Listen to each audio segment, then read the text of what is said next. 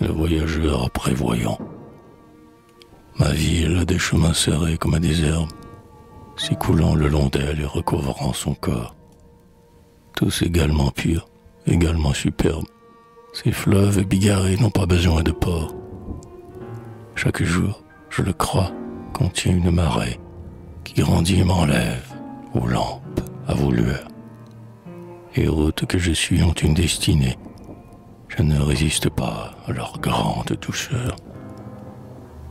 Frère de ces oiseaux qui vivent dans les vagues, je ne change le sort que s'il est sans raison. Amour, il faut laisser vos attitudes vagues si vous voulez dormir dans ma froide maison. Le mouvement de l'eau, des cités, des poèmes, comble paisiblement un silence infécond.